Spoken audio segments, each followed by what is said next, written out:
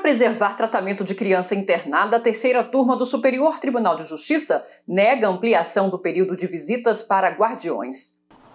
Com o objetivo de priorizar os interesses da criança e evitar prejuízos a tratamento intensivo de saúde, a terceira turma do STJ negou habeas corpus impetrado pelos tios guardiões de uma menina que pretendiam ter o direito de permanecer com ela em tempo integral durante a internação hospitalar. Na decisão tomada por unanimidade, o colegiado considerou cabível a limitação das visitas em razão da ocorrência de sérios desentendimentos dos guardiões com a equipe médica, o que poderia colocar em risco o sucesso do tratamento da criança. De acordo com os autos, a criança tem hidrocefalia, depende de ventilação mecânica e está internada em hospital infantil. Os guardiões, que possuem a guarda provisória da menina, entraram com pedido para acompanhá-la em tempo integral mas em audiência de conciliação com o hospital, concordaram com as visitas durante uma hora por dia. Depois, os tios da menina voltaram a pedir a visitação em tempo integral e sem a necessidade de acompanhamento por terceiros,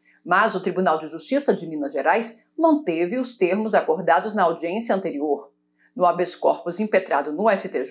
os guardiões alegaram, entre outras coisas, que o tempo de visita definido na audiência é insatisfatório para o atendimento dos interesses da criança. O relator do caso, o ministro Marco Aurélio Belize, que já havia negado o pedido liminar dos guardiões em dezembro do ano passado, destacou que, de fato, o acompanhamento dos pais ou responsáveis durante o tratamento médico hospitalar em período integral tem expressa previsão legal no Estatuto da Criança e do Adolescente e no Estatuto da Pessoa com Deficiência, mas nas situações em que a norma não promover concretamente a preservação dos interesses do menor, mas ao contrário, colocá-la em risco, o regramento legal não poderá ser aplicado ou deverá ser flexibilizado para que o direito e os melhores interesses da criança sejam efetivamente preservados.